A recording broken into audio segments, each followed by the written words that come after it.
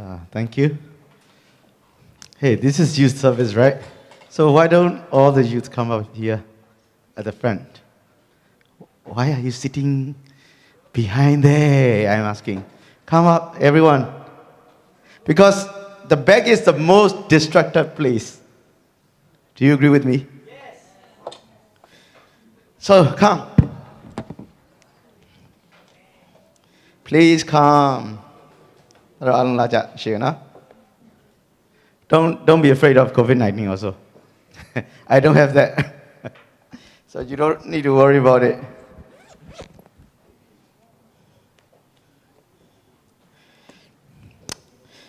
Okay. ဘုရားသခင်ကျေးဇူးတော်ကိုချီးမွမ်းပါတယ်လို့နော်အာတကယ်တမ်းကျတော့အာဒီနေ့ကကျွန်တော်ရဲ့အလဲတော်မဟုတ်ဒါပေမဲ့ကျေးဇူးတော်ကြောင့်မလို့အာနှုတ်ကပတ်တော် ဝင်ငါခွင့်ရတယ်လို့ကျွန်တော်ခံယူပါတယ်လို့နော်အာဒါကြောင့်လို့ဘယ်လိုရည်ရွယ်ချက်နဲ့ပဲဖြစ်ဖြစ်ပါလေအခွင့်ပေးတဲ့လူငယ်ကောင်းဆောင်တွေလည်းကျေးဇူးတင်ပါတယ်လို့နော် Okay Are we excited to hear the word of God? Yes. Okay. နော် so ကျွန်တော်အရင်ဆုံးဆုတောင်းလေးအစားပြုကြအောင်ဘုရားခင်ကျေးဇူးတော်ကိုချီးမွမ်းပါတယ် ကျွန်တော်အသက်တာမှာဘုရားသခင်ရဲ့ကောင်းမြတ်ခြင်းဘုရားသခင်ကြီးမြတ်ခြင်းကို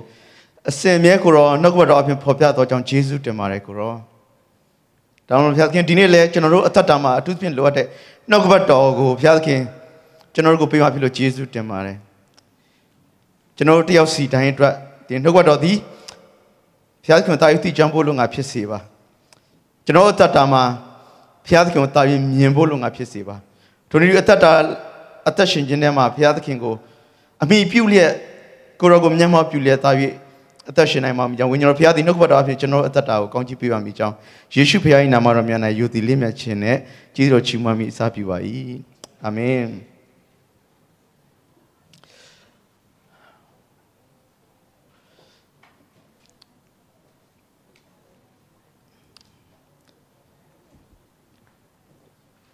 ကျွန်တော်အသင်းတော်လောကထဲမှာပြောပြောယုံကြည်သူအတိုင်းဝိုင်းထဲမှာပဲပြောပြောအမြဲတမ်း misunderstood or abuse လုပ်ခံရတဲ့ term တစ်ခုရှိတယ် Okay နားလည်မှုလွယ်တာပေါ့ဒါမှမဟုတ်လေအလွဲသုံးခံရတဲ့စကားလုံးလေးတစ်ခုရှိတယ်အဲ့ဒါဘာလဲဆိုလို့ရှိရင် What? no, no, no. A little more. That's theology. The word theology. T H E O L O G Y. Theology. မြန်မာလိုကတော့တာလုံးချင်းစံက theology ပေါ့နော် Yeah. Uh, very commonly uh, being abused or misunderstood. အာတော်တော်များများတော့တရားဟောဆရာတွေပဲပြောမလားစာကျမ်းစာသင်တဲ့သူတွေပဲအေးဘောနော်ဘိုင်ဘယ်စရီလောက်ကြတဲ့သူတွေပဲပြောမလားအော်အများသောအားဖြင့်ဘယ်လိုလူတွေစီကပဲကြားရတယ်လဲဆိုလို့ရှိရင်အထူးဖြင့်ကျွန်တော်တို့ theological training မသွားထားတဲ့လူတွေစီကပူကြားရတယ်ကျမ်းစာကြောင့်မတက်ထားတဲ့လူတွေစီကပူကြားတယ်ဘယ်လိုကြားလဲဆိုလို့ရှိရင် theology is a is a big word is a mind oh, blowing, mind blowing in the sense of negative. So oh, it's kind of dangerous term. အနေရှိတဲ့စကားလုံးတစ်ခုလိုမျိုးကျွန်တော်တို့ theology ကိုမြင်ကြတယ် but do you know actually theology is really embedded in our daily life in our very every conversations even in our every thoughts. These are theologies. Will you agree with me? You may not. Some agree with me, yeah. ဒါပေမဲ့ကျွန်တော်တို့ကအာအဲ့ဒါကိုမသိကြဘူးကျွန်တော်တို့ရဲ့အတွေးကျွန်တော်တို့ရဲ့ပြောတဲ့စကားလုံးတွေမှာ theology ပါနေတယ် theology ဆိုတာက is very simple what is that theos ဆိုတာဒါ Greek word ဖျား God logos logi logia ဒါကဘာလဲဆိုတော့ study တနည်းအားဖြင့်ဘုရားသခင်အကြောင်းကိုလေ့လာခြင်း uh, another term we can another sorry another uh, way that we can express this the knowledge of God we can also say that ဘုရားသခင်ကိုသိကျွမ်းခြင်း okay ကျွန်တော်နေ့တူကကျွန်တော်ပြောနေတဲ့စကားတွေဒီကျွန်တော်ဘုရားသခင်ကိုဘယ်လိုသိလဲဆိုတဲ့အရာနေပြီးတော့ reflect ဖြစ်လာတာ တယောက်နဲ့တယောက်ပြောတဲ့စကားတယောက်နဲ့တယောက်မြင်တဲ့အမြင်ကလည်း is really based on theology but then we don't really know what is theology and then we treat it as as a monster kind of and then it's it's something not to touch ဟိုတော့ပြီးထိကင်စရာမလို့မလို့တဲ့ဟာလိုမျိုးကျွန်တော်မြင်ကြတယ် but it's very simple yet very profound and very important for every one of us ကျွန်တော်တို့အရင်ကြီးကြည့်ရဖြစ်တယ်ဒါဒါလေးကိုနားလည်စေချင်တယ်ဆိုတော့အာပြောတဲ့နေတော့ကြားလိမ့်မယ်ဟို PH တွေရပြီးခေါင်းတွေကြီးသွားရဲဆိုတာလေ permanent head damage လို့ပါလေနော် actually is not of course when we study theology we have to know where is our ground that's very important ကျွန်တော်တို့ stand လုပ်တဲ့ firm foundation ကျွန်တော်ရဲ့ယုံကြည်ခြင်းကဘယ်မှာရှိလဲဆိုတာအရေးကြီးတယ်ဆိုတော့ကျမ်းစာကြောင့်တက်တဲ့ဆိုတဲ့အခါမှာဟိုဘွဲရခြင်းလို့တက်တဲ့သူတွေရှိတယ်လက်မှတ်လို့ခြင်းလို့တက်တဲ့သူရှိတယ်ဒါပေမဲ့တစ်ချိန်တည်းမှာပြင်ဖခင်ရဲ့နှုတ်ဘတ်ကိုတေချာပိုင်းခြားနားလည်ခြင်းလို့တက်တဲ့သူတွေလည်းရှိတယ် so you have to know you have to know we cannot uh oh stereotype everyone ဆိုတော့ကျွန်တော်တို့အဲ့ဒါလေးကိုသတိထားဖို့လည်းလိုတယ် okay ဆိုတော့ဒါကိုကျွန်တော်ဘာကြောင့်ပြောလဲဆိုလို့ရှိရင် အာဒီဥစ္စာကကျွန်တော်တို့အခုနောက်ပိုင်းကျွန်တော်လူငယ်တွေကြားထဲမှာတော့ဒါကိုပို့ပြီးတော့အဲ့လိုမျိုးဟို brain wash လုပ်တယ်လို့ကျွန်တော်ခံစားရတာ because oh everybody scared of theology and everybody don't want to say theology don't want to speak about it even last week မှာတော့ကိုဆရာသားငယ်သူပြောသွားတယ် you still remember two main uh concept and then yes these are all theologies these are all theologies အဲ့ဒီ free will နဲ့ဒီ predestining predestination ဆိုတဲ့ဒီ concept ကဘယ်ရရလဲ they study the bible then they got it that's the theology ဆိုတော့ကျွန်တော်အသက်တာမှာဒါလေးကိုကျွန်တော်ဟိုအရင်ဆုံးကျွန်တော် introduction နေနဲ့ပြောပြချင်တယ်ကျွန်တော်ဘုရားသခင်ကိုသိကျွမ်းခြင်းက is very important especially this kind of era is very important because false teachers are very much working even in the churches I I would say so ကျွန်တော်တို့အများကြီးကျွန်တော်တို့ဖခင်သခင်ကိုတည်ကျွမ်းခြင်းမှာအရန်အားကြီးဖို့လွယ်ဆိုကျွန်တော်နားလည်လို့ရတာ Okay ကျွန်တော်ဒီနေ့အာခံရမယ့်နှုတ်ကပတ်တော်ဒီထဲကနေဖခင်သခင်ကိုကျွန်တော်တို့ဘယ်လိုမျိုးကျွန်တော်သိမလဲနားလည်မလဲ ကျွန်တော်တို့ကြည့်ကြည့်အောင်ရှင်လုကာခရစ်ဝင်ခန်းကြီး9နော်ရှင်လုကာခရစ်ဝင်ခန်းကြီး9အငယ်1ကနေပြီးတော့7 Okay ရှင်လုကာခရစ်ဝင်ခန်းကြီး9အငယ်1မှ7ကျွန်တော်ရဲ့အတူတူလိုက်ကြည့်ပေးပါနော်တန်ရောအခါဂင်နေသရက်အိုင်နားမှာရက်တော်မူ၍ လူများတို့သည်ဖျားသခင်နှုတ်ကပတ်တရားကိုနားထောင်ခြင်းကကိုတော်အနီးသို့တိုးဝင်ကြစဉ်တွင်ကမ်းနားမှာစိုက်သောလှေနှစင်းကိုမြင်တော်မူ၏တငါတို့သည်လေထဲကထွက်၍ပိုက်ကွန်တို့ကိုစီးလျှော်လျက်နေကြ၏ထိုလေတို့တွင်ရှီမုန်၏လေထဲသို့ဝင်တော်မူပြီးလျှင်လေကိုကမ်းနားမှာအနှဲငယ်ခွာဖွင့်စေခြင်းကရှီမုန်ကိုအခွင့်တောင်းတော်မူ၏ထိုလေပေါ်မှာထိုင်လျက်လူများတို့ကိုဆုံးမဩဝါဒပေးတော်မူ၏ ခန့်ငယ်လေးစကားတော်ပြတ်သောအခါရေနဲ့ရာအရက်သို့ရွှေအောင်လော့ပိုက်ကုံကိုချ၍ငါ့ကိုအုပ်ဆန်းလော့ဟုရှီမုန်အားမိန်တော်မူ၏ရှီမုန်ကလည်းသခင်ကျွန်ုပ်တို့သည်တညလုံးကြိုးစားတော်လဲတကောင်းကိုမျှမရပါတို့ရာတွင်အမိန်တော်ရှိလျင်ပိုက်ကုံကိုချပါမည်ဟုလျှောက်လေ၏ထို့သောချကြပြီးလျင် အလွန်များစွာသောငါတို့ကိုအုပ်မိသဖြင့်ပိုက်ကွန်သည်စုပ်ပြက်စာရှိ၏ အခြားသောလေတစင်း၌ရှိသောအပေါင်းဖော်တို့သည်လာ၍ကူညီစေခြင်းကသူတို့ကိုအမှတ်ပေးသဖြင့်သူတို့သည်လာ၍လှေနှစ်စင်းနစ်လူမတက်9နှစ်ပြည့်စေကြ၏ခန်းငယ်ရှစ်ရှီမုန်ပေတရုသည်မြင်လျင်ယေရှု၏ပစစ်တော်ကိုဥတိုက်၍သခင်ကျွန်ုပ်သည်အပြစ်များသောသူဖြစ်ပါ၏အကျွန်ုပ်စီမှကြွသွားတော်မူပါဟုလျှောက်လေ၏အဘဲကြောင့်ဤသို့လျှောက်သည်နည်းဟုမူကား အုတ်မိသောငါးများကိုထောက်သဖြင့်ရှီမုန်နှင့်သူ၏အပေါင်းအဖော်ဇေဘေဒဲ၏သားယာကုပ်နှင့်ယောဟန်မှစ၍ရှီမုန်နှင့်ပါသမျှသောသူတို့သည် မိန်မောတွေ့ဝေခြင်းရှိကြ၏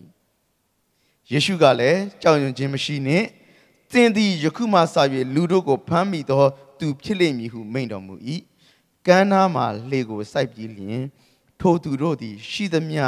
တို့ကိုစွန့်ပစ်၍နောက်တော်သို့လိုက်ကြ၏ အခုကျွန်တော်တို့ဖတ်သွားတဲ့အကြောင်းအရာလေဒါ Luke chapter 5 1 to 11နော်နော်ရှင်ပေတုယေရှုခရစ်တော်ရဲ့အာ apostle အနေနဲ့ရွေးခံရွေးချယ်ခြင်းခံရတဲ့ရှင်ပေတုကိုယေရှုခရစ်တော်ခေါ်ခြင်းကြောင့်ကိုဒါလေးမှတ်တမ်းနိုင်တာဖြစ်တယ်ဆိုတော့အာကျွန်တော်တို့ဒီခရစ်ဝင်ကျမ်းပြိုင်နေအတဲမှာဒီရှင်လူကအပြင်တခြားမတ်သဲနဲ့မာကုမှာလည်းဒီ account ကိုဖော်ပြထားတယ် but ရှင်လူကလိုမျိုး detail တော့မပြောထားအောင်ကျွန်တော်တို့မသက်လေးမှာတွေ့တယ်အမာကုတစ်ထဲမှာကျွန်တော်တွေ့လိမ့်မယ်ဒီထဲမှာတော့ဟောမသက်နဲ့မာကုကတော့လမ်းတွေ့တယ်ခေါ်တယ်သူတို့လိုက်သွားကြတယ်ဒီလောက်ပဲရေးကြတယ်ဒါပေမဲ့လူကာကတော့ it's kind of quite detailed he recorded this one ဆိုတော့ ယေရှုခရစ်တော်က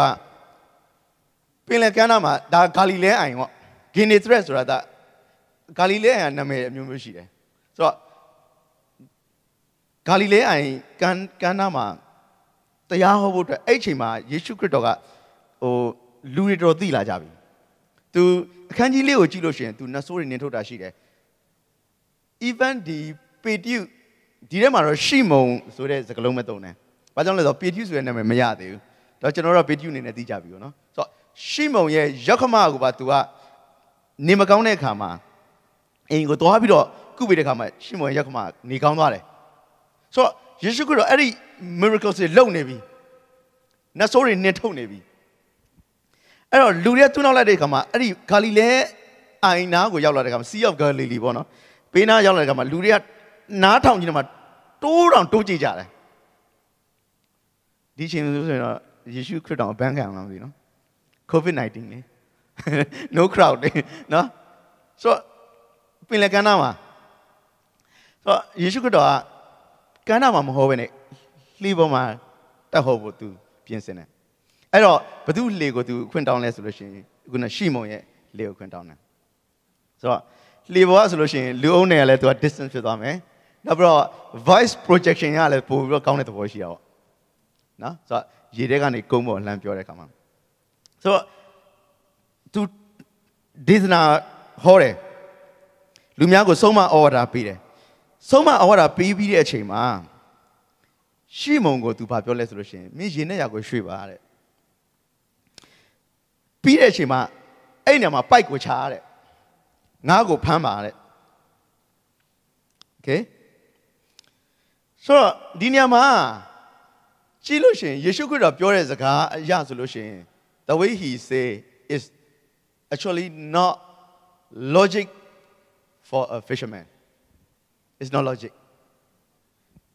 go into the deep of the water and cast your net drop your net and catch the fish doesn't make sense for a fisherman အဲကြောင့်မလို့ရှီမွန်ကဘာပြောလဲဆိုလို့ရှိရင် we already try the whole night တညလုံးကျွန်တော်တို့ဖမ်းတာကျွတ်ဖမ်းတာမတညလုံးစူးစမ်းပြီးဖမ်းတာမရမကောက်ဖမ်းတာ we already put our effort but we got none ဆိုတော့တနည်းအားဖြင့်ရှီမွန်ကဘာပြောဘာပြောချင်တာလဲလို့ကျွန်တော်နားလေရလဲဆိုလို့ရှိရင်သူ့ရဲ့ experience က okay uh master you now say to uh, ask me to drop the net into the deep water now but we already try and then another illogical ဖြစ်တယ်ကဘာလဲဆိုလို့ရှိရင် we don't go into the deep water we don't go into the deep water အာကျွန်တော်ဒါလေးကိုပြတော့ဒါပေမဲ့ကျွန်တော်ပြင်ဖို့အတွက်အချိန်မရှိလိုက်လို့အဲ့ fishing သူတို့ သူတို့ကတော့သူတို့ခေတ်တော့ fishing net အမျိုးမျိုးရှိတယ်နောက်ပြီးတော့ဒီ first century တော့ကသူတို့ငါးဖမ်းတဲ့အခါမှာကျွန်တော်တို့အခုခေတ်လိုငါးများတုတ်ကိုင်းနဲ့ညားတာလည်းရှိတယ်ဟိုမိန်းနဲ့ထိုးပြီးတော့ဖမ်းတာလည်းရှိတယ်ကွန်နဲ့ပစ်တာလည်းရှိတယ်ဒါပေမဲ့ဒီမှာတော့အဲ့ဒီသုံးခုမဟုတ်ဘူးလို့နားလေရတယ်ဒီမှာဖမ်းတဲ့ဟာကကျွန်တော်တို့မြန်မာပြည်မှာငါးဖမ်းတာကိုတွေ့ဘူးတဲ့သူငါးပိုက်ချတာတွေ့ဘူးတဲ့သူဘယ်နေရလို့ရှိအေအော်ဒီတိုင်းကလူတွေဆိုတီးလောက်မယ်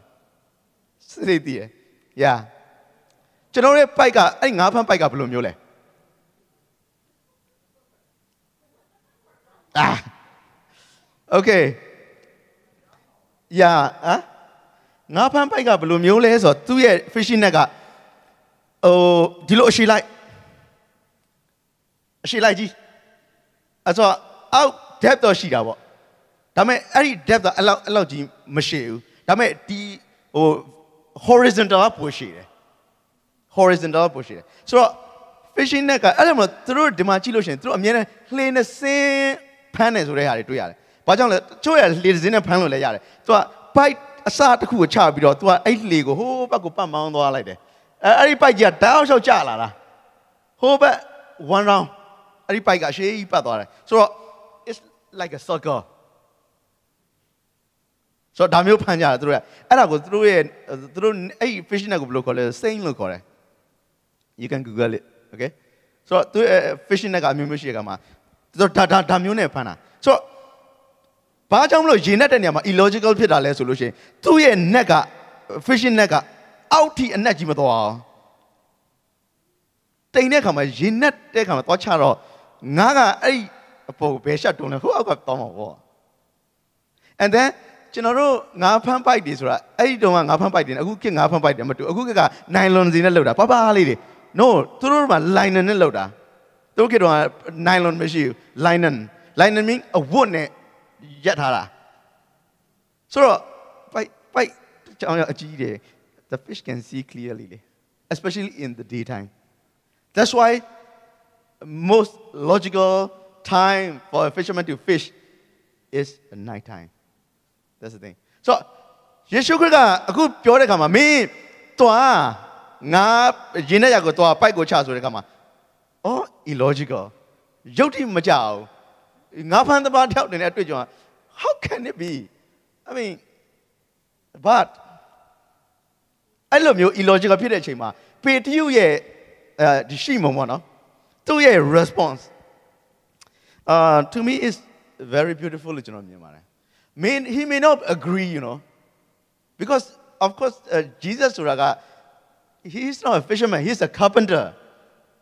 he may not know about fishing but this here hello you are I'm expert in this area you know you may you may be expert in building the house construction but not here may not be here but ဒီညမှာရှိမုံကယေရှုခရစ်ရဲ့စကားကိုသူကဗာပြောလဲဆိုလို့ရှိရင် ကျွန်တော်တို့တညလုံးစူးစမ်းချတော့လဲစူးစမ်းဖန်တော့လဲမရဘူးတို့ရတွေအမိန်တော်ရှိနေပိုက်ကုံကိုချပါမည်ရှိမုံရဲ့တရံဘာလို့လဲ submission ကိုတွေ့ရနော် if you say so yes i will do it ဆိုတော့ logic မကြပါနဲ့နားခံတယ်ဆိုတော့ result ကဘာဖြစ်သွားလဲ yes yes များတာမှာသူကလေလေတစည်းနဲ့မကတော့ yes ပိုက်ကွန်လဲစုပ်ပြတ်နေပြီ ငါရဲ့ weight ကများလွန်းအားကြီးတဲ့ခါမှာပိုက်ကမခံနိုင်တော့ဘူးအဲ့ဒီပြင်လှေတစည်းနဲ့မရဘူးလှေနှစ်စီးဖြစ်သွားတယ် two boats the miracles that Jesus performed here so အဲ့ဒီဟာကိုတွေ့တဲ့အခါမှာစဉ်းစားကြည့်နော်အခုနကဒီငါးဖမ်းခြင်းလုပ်ငန်းမှာမှာအလွန်ကျွမ်းကျင်နေတဲ့သူတယောက်ဒီမဖြစ်နိုင်ဘူးဆိုတာသိတယ်ကြိုက်တဲ့ချိန်သူ့ကိုလာမေးဒီချိန်မှာမရအောင်ဆိုတာ तू သိတော့လဲ ရလိုက်တယ်ဟာအများကြီးဖြစ်တဲ့ချိန်မှာ then तू အဲ့ဒါကို तू ဘလို့မှ cannot stand it anymore that's why his reaction mentioned here အခန်းငယ်ရှိရှီမုန်ပေတရုသည်မြင်လင်ယေရှု၏ပစစ်တော်ကိုဥတိုက်၍သခင်အကျွန်ုပ်သည်အပြစ်များသောသူဖြစ်ပါ၏အကျွန်ုပ်စီမှကြွသွားတော်မူပါဟုရှောက်လေ see the reaction okay ယေရှုခရစ်က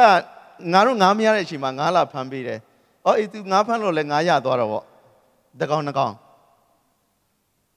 အဲ့ဒါဆိုလို့ရှိရင်ရှီမုန်အဲ့လောက်ထိဖြစ်เสียအကြောင်းရှိမလား။ငါငါ့ကိုတွေ့ပြီးတာနဲ့ဒီငါ့ကို तू ယူမဆိုင်နိုင်ဘဲနဲ့ယေရှုရဲ့ခြေချင်းကိုဖစစ်တော့ English version မှာဆို तू က Jesus feet မှာ तू ရောက်တာ at Jesus feet ပစစ်တော်ကိုဥတိုက်တယ်ဆိုတဲ့အခါမှာယေရှုကမတ်တက်ရနေလို့ရှိရင်လုံးဝအဲ့ဒီခြေတောက်မှာ तू ကဒူးထောက်ပြီးပြောက်သွားတာ that's the impression that's the impression that's the first action he show ယေရှုရဲ့ပစစ်တော်ကိုဥတိုက်တယ်ပြီးတော့မှသခင်အကျွန်ုပ်ဒီအပြစ်များသောသူဖြစ်ပါ၏တဲ့ what does it show what does that mean yes ယေရှုခရစ်တော်ရဲ့ကြီးမြတ်ခြင်းတကိုးတော်ကိုသူတွေ့မြင်တဲ့အခါမှာ he sees himself ကျွန်တော်တို့အလားတူတံ similar case အဘယ်မှာဖြစ်ခဲ့ဘူးလဲဆိုလို့ရှိရင် Isaiah မှာလည်းဖြစ်ခဲ့ဘူးတယ် Prophet Isaiah အခန်းကြီး6ပိမှန်တော်မှာဖျားသခင်ရဲ့ဘုံတကိုးတော်ကိုကောင်းကင်တမန်တရက်တွေကနေကိုးကွယ်တာမြင်တဲ့အခါမှာ woe I am ငါဒီညစ်ညူးသောဖြစ်သူဖြစ်ပါလကားငါဒီအလုံးအပြစ်များသောသူဖြစ်ပါလကားဆိုပြီးသူမြင်တယ် see similar situation so လူကဖျားသခင်ရဲ့ကြီးမြတ်ခြင်းကိုမြင်လို့ရှိရင် ကျွန်တော်တို့ဘယ်လောက်ထိစုပ်ပြတ်လဲဆိုကျွန်တော်တို့မြင်လာတာ another way ဖျားသခင်ရဲ့ကြီးမြတ်ခြင်းကိုမမြင်လို့ရှိရင် we will see how good I am how great I am that's the implication ဒါပေမဲ့ဒီမှာအာအာရှင်လူကတော့ဒါလေးကိုသူမှတ်တမ်းတင်ထားတယ်အဲ့ဒီအပြစ်များသောသူတနည်းအားဖြင့်အပြစ်သားပဲ sinner ဆိုတဲ့ word ကကျွန်တော်တို့ဒီ synoptic gospel ဒီကျမ်းဒါရှမသဲမာကုလုကာပေါ့နော်အဲ့ဒီကျမ်းစာတွေထဲမှာ22 times လောက်ပေါ်ပြတယ်အဲ့သုံးကျမ်းစလုံးမှာ22ချိန်လောက်ပေါ်ပြရဲ့အထဲမှာလုကာကလုကာဘယ်နှချိန်သုံးလဲဆို15ချိန်သုံးတယ်15 out of 22လုကာကအဲ့ဒီအပြစ်သားဆိုတဲ့စကားလုံးကိုအပြစ်များသောသူအပြစ်သားဆိုတဲ့စကားလုံးသူက15ချိန်တော့သူသုံးတယ်ဒီညမှာ အာရှိမုံသူ့ကိုယ်သူဘယ်သူလို့မြင်လဲဆိုအပြစ်များသောသူလို့မြင်လာတယ် and then what he say ကျွန်ုပ်စီမှာကြွသွားတော်မူပါ you live away from me မောင်းထုတ်တာမဟုတ်နော် what does that mean what's the impression uh, please leave yes what is the impression what what does that mean lord you stay away from me what is that i am sinner please stay away from me what is the impression what does that mean huh yes ဟုတ်တယ် I am not worthy of you I'm not worthy see လူတယောက်ကလေဖျားသခင်ရဲ့ကြီးမြတ်ခြင်းကိုတကယ်တမ်းမြင်ပြီးဟေ့ဆိုလို့ရှိရင်လေ we cannot stand at all we cannot stand at all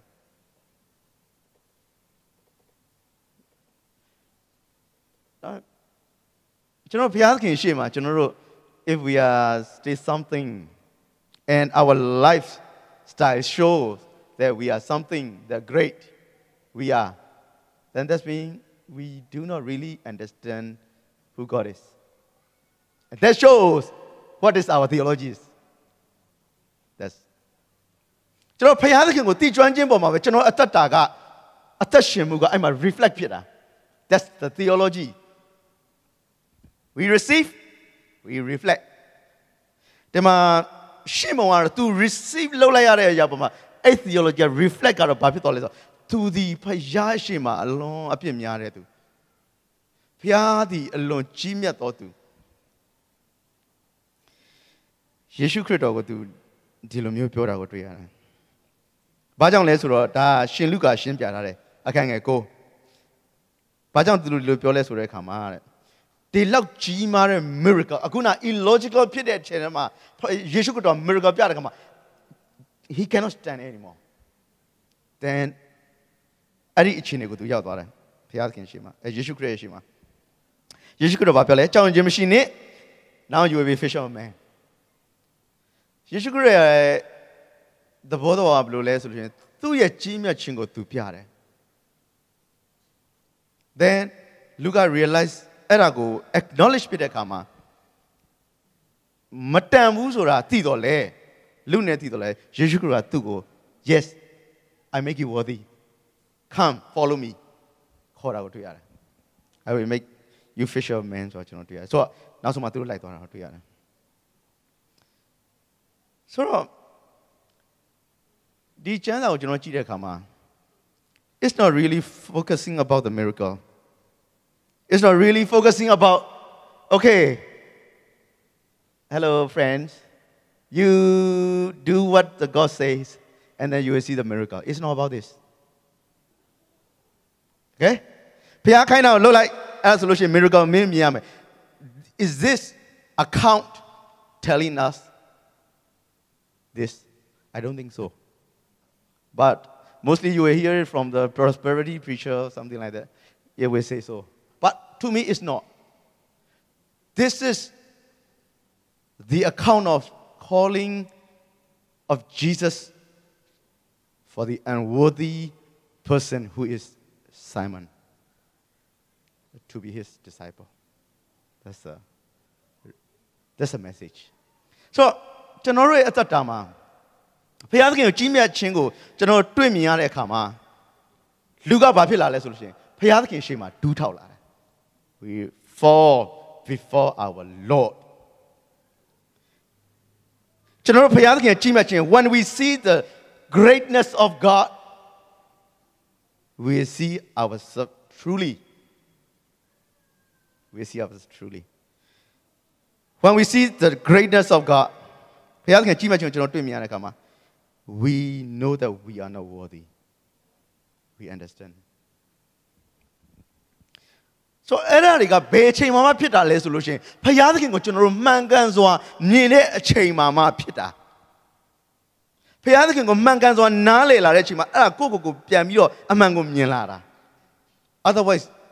we will not see we will not see တရားရင်ဘုရားသခင်ကိုကျွန်တော်မှားယွင်းစွာကျွန်တော်မြင်လာလို့ရှိရင်နားလည်လာလို့ရှိရင်ဘုရားသခင်မှားယွင်းစွာနားလည်လာလို့ရှိရင်ကျွန်တော်ကိုကျွန်တော်လည်းမှားယွင်းစွာနားလည်လာမယ်လို့မြင်ရတယ် ကျွန်တော်ကိုကျွန်တော်မှားယွင်းစွာမြင်တဲ့အခါမှာကျွန်တော်နဲ့ပတ်သက်တဲ့ဆက်ဆိုင်တဲ့ညီကိုမောင်နှမကိုလည်းကျွန်တော်မှားယွင်းစွာမြင်တော့မှာ see wrong theology will lead you to wrong attitude towards God and wrong attitude in your living in my living wrong theology will lead theology မှားလို့ရှိရင်ကျွန်တော်တို့ရဲ့အသက်တာရဲ့အသက်ရှင်ခြင်းကိုလုံးဝကမကမဖြစ်စေတယ် That's why very important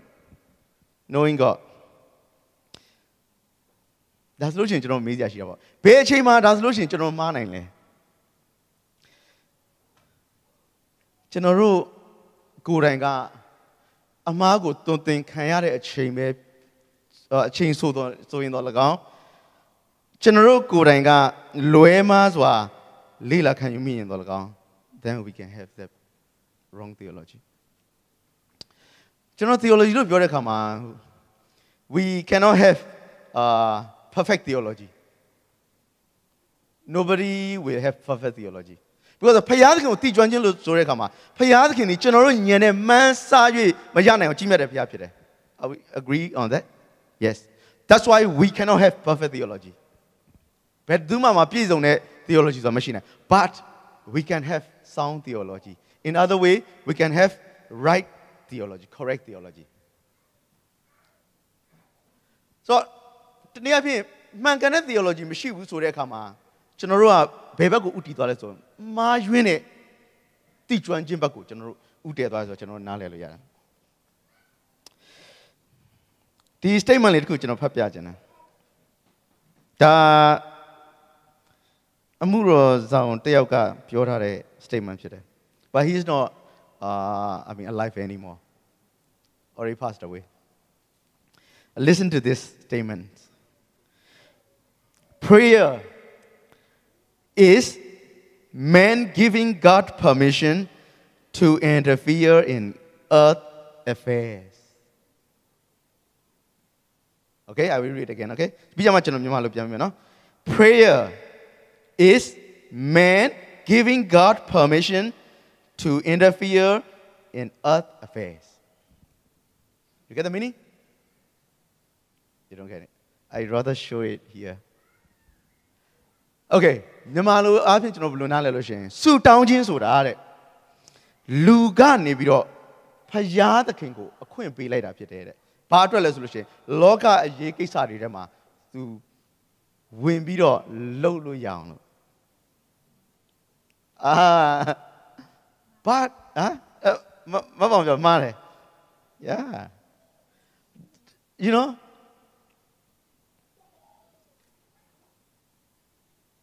Uh, this is a statement not from any, I mean, not anyhow, anybody, but the one who is preaching and uh, who- who preach, teach, who taught, because he already passed away. ဆူတောင်းခြင်းဆိုတာလူကဘုရားသခင်ကို လောကထဲမှာတနည်းအားဖြင့်ပြော legally အလုပ်လုပ်ဖို့အတွက်အခွင့်ပေးလိုက်တာဖြစ်တယ်တဲ့ What is the implication ကျွန်တော်ကမဆုတောင်းလို့ရှိရင်တနည်းအားဖြင့်ကျွန်တော်ကအခွင့်မပေးလို့ရှိရင်ဘုရားသခင်ကလုပ်လို့မရဘူးဆိုတော့သူကဘာဆက်ပြောလဲဆိုတော့ mankind holds the power of license on earth so but when when he when you if you listen the whole sermon of his maybe uh မှားတယ်လို့ပြောချင်မှပြောဦးမယ်ဒါပေမဲ့အခုဒီကြောင်ပြောတဲ့အခါမှာမှားတယ်ဆိုတာကျွန်တော်တို့သိသားဖြစ်သွားတယ်ဒီဒီဒီစကားကိုကျွန်တော်ကြားတဲ့အခါမှာဘာကိုသွားမြင်လဲဆိုလို့ရှိရင်ဒီနေ့ခေတ်ကာလကဘာလဲဆိုလို့ရှိရင်ဖယားသခင်ကိုလူနေရာကိုဆွဲချတဲ့ကာလ I think this is not the first time first time I'm saying this ဖယားသခင်ကိုလူနေရာကိုဆွဲချတဲ့ကာလ နောက်ပြီးတော့လူကိုဖယားနေရာကိုတင်တဲ့ကာလဖြစ်တယ်ဖယားသခင်နေရာမှာကိုယ့်ကိုယ်ကိုချီးမြှောက်တဲ့ကာလဖြစ်တယ် you know, uh, he gives the example of a conversation between Abraham and God. Abraham နဲ့ဘုရားသခင်စကားပြောတဲ့ဇလန်းရှိတယ်။အာကပောက် Genesis 18မှာရှိတယ်။တောတုံနဲ့ဂေါမောရာကိုဘုရားသခင်ဖျက်ဆီးတော့မယ်ဆိုတဲ့အခါမှာအာအာဗြဟံနဲ့ဘုရားသခင်စကားပြောတယ်။ အာဗြဟံပြောအာဘုရားသခင်ပြောလေငါဒီလိုဖျက်ဆီးမဲ့ကိစ္စကိုငါအာဗြဟံကိုအတိမပေးငါနေရမလား။ဆိုတော့နောက်ပိုင်းမှာအာဗြဟံကဘုရားသခင် အဲ့ဒီမြို့မှာဖြောင်းမတ်တဲ့လူ90ရှိလို့ရှိရင်ကိုတော့ဖြတ်စည်းမလားမဖြတ်စည်းဘူးအဲ့ဆိုလို့ရှိရင်ထပ်လျှော့လာတယ်40 30 20เนาะလျှော့လာတယ်ဆိုတော့အဲ့ဒီဒီဒီ statement ကိုပြောတဲ့သူကဘာပြောလဲဆိုလို့ရှိရင်အာဗြဟံအာ sorry ဖျားသခင်အာဗြဟံအခွင့်မပေးဘဲနဲ့သောရုံနဲ့ဂေါမရာကိုဖျက်ဆီးလို့မရဘူးဆိုတော့ he say that he say that ကျွန်တော်တို့ရှင်းရှင်းလေးရိုးရိုးလေးစဉ်းစားကြည့်လို့ရှိရင်အာဗြဟံနဲ့ဘုရားသခင်ဘယ်သူကကြီးမြတ်တာလဲဘယ်သူကဘယ်သူကိုဖန်ဆင်းတာလဲအာဗြဟံအခွင့်ရှိမှဘုရားသခင်အလုပ်လုပ်ရမှာလား Sometimes we people do not know our position that's the point Sometimes most of the time we do not know who we are and the worst is who God is that's a problem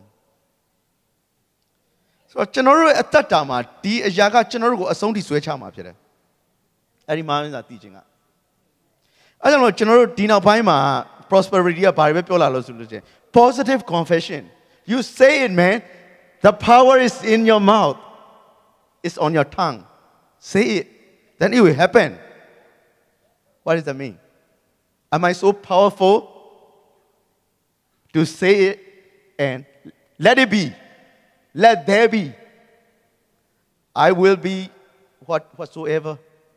whatever i say ကျွန်တော်ဒါတွေကကျွန်တော်ဒီနေ့နေ့စဉ်နဲ့မှကြားနေရတဲ့ဟာတွေဖြစ်တယ်အဲ့ဒါတွေအားလုံးကဘယ်ကနေထွက်လာလဲဆိုရင် is from bad theology and wrong theology bad theology and wrong theology because we do not know who we are really are ဒီနေ့ရှီမုံကတော့ he really knew who he was သူဘယ်သူလဲဆိုတာသူကောင်းကောင်းသိတယ်ဘုရားသခင်ရဲ့ရှေ့မှာယေရှုခရစ်ရဲ့ရှေ့မှာ then he humbled himself ဆိုတော့ကျွန်တော်တို့အာဘုရားသခင်ပေးထားတဲ့ ကျွန်တော်တို့အရိုက်အရာဖျားသားဖြစ်ခြင်းသူ့ရဲ့အဆွေဖြစ်ခြင်းသူ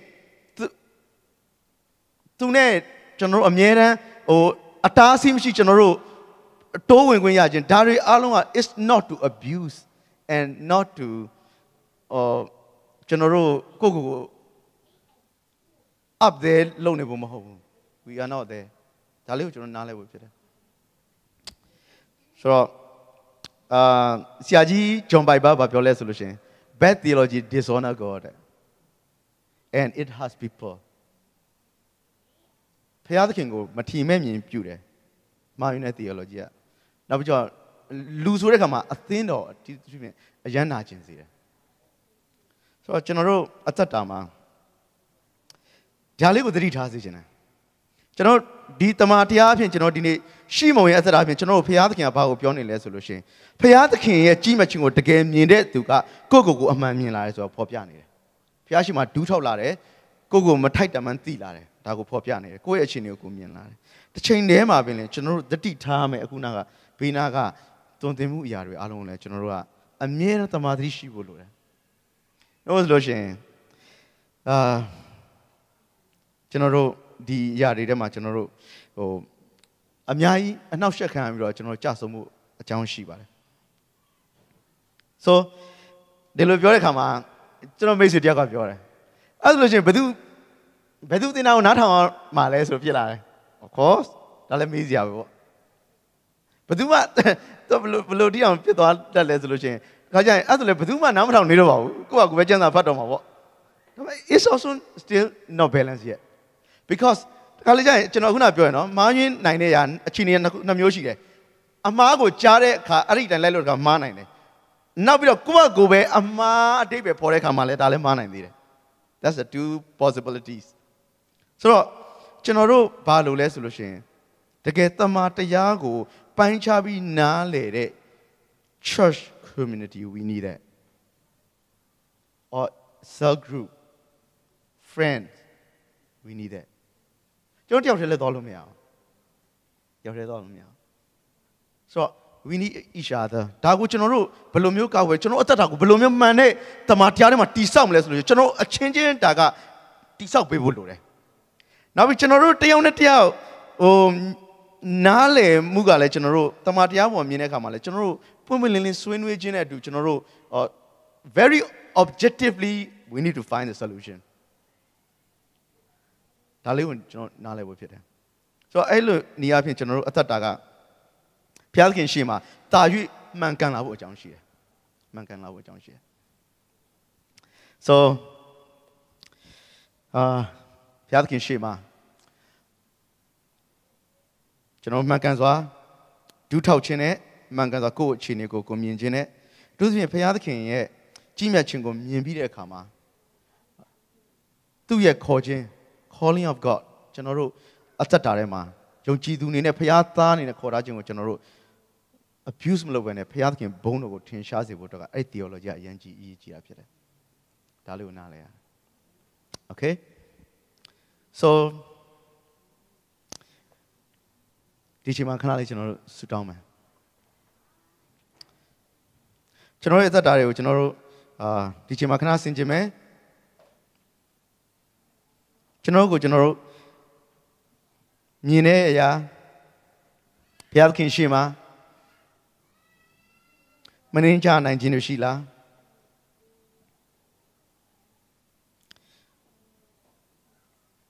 ရှိမုံကတော့ तू ကနှိမ့်ချတယ်။ဘာကြောင့်လဲဆိုတော့ तू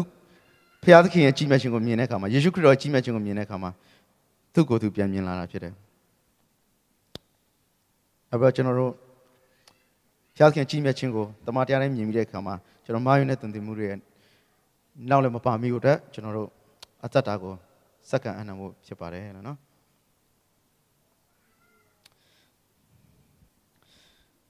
ဖျားခင်ဒီနေ့ကြားတဲ့နှုတ်ဘတ်တော်တဲ့ယေရှုတင်ပါတယ်ကိုရောယေရှုခရစ်တော်ဒီကျွန်တော်ရဲ့အသက်တာမှာအလုံးမကြီးမြတ်တဲ့ဖခင်ဖြစ်ပါတယ်ကျွန်တော်ရဲ့သခင်ဖြစ်ပါတယ်ကျွန်တော်ရဲ့ကယ်တင်ရှင်ဖြစ်ပါတယ်ကျွန်တော်တို့တယောက်စီတိုင်းကဒီနေ့မထိုက်တန်တော့လဲကိုရောကအသွေးတော်နဲ့ရွေးဝဲခဲ့ပြီးတော့ဘုရားသခင်ရဲ့သားနေရာမှာချီးမြှောက်တဲ့ရားဖြစ်ပါတယ် ဒါပေမဲ့ဒီလောကကတော့ကျွန်တော်တို့ကိုဘုရားသခင်ကျွန်တော်တို့ဘလောက်ကြီးမြတ်တယ်ဆိုတဲ့အကြောင်းပဲသင်ပါတယ်ကျွန်တော်တို့ဘလောက်ကြီးတယ်ဆိုတဲ့အကြောင်းပဲလာလာပြပါတယ်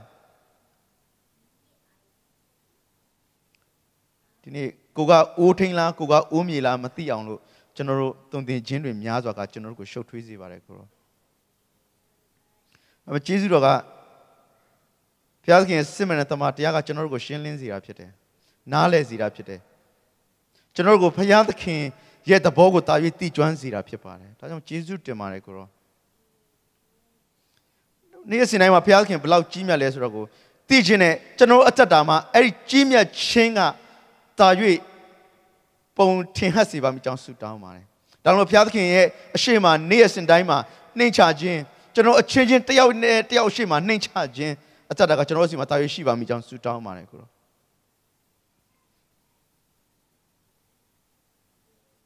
ကျွန်တော်တို့ကိုကိုကိုကြီးမြတ်တယ်ကိုကိုကောင်းတယ်ကိုကိုမြင့်မြတ်တယ်လို့ထင်နေသေးရတော့ကျွန်တော်တို့သူတစ်ပါးရှိမှနှိမ်ချစရာအကြောင်းမရှိပါဘူးဒါပေမဲ့ဘုရားသခင်ကျွန်တော်တို့ဒီနေ့ကိုရောရှိမှာကိုရကြီးမဲ့ချင်းကိုမြင်မြင်နှိမ့်ချတဲ့ကဲ့သို့ကျွန်တော်အချင်းချင်းရှိမှလည်းတာပြီးနှိမ့်ချနိုင်မှာမိကြောင်းဆုတောင်းပါတယ်ကိုရောဒီမြင်ကျွန်တော်တို့အသင်းတော်တဲ့ဆုတောင်းပါတယ်ဘုရားခင်မိုင်းတော်သွန်သင်မှုတွေကနေကိုရောကွယ်ကာပါမိကြောင်းဆုတောင်းပါတယ် ဒီကျွန်တော်တို့ဆဲဂရုတွေကျွန်တော်တို့အာမိတ်ဆွေတငယ်ချင်းတွေကျွန်တော်တို့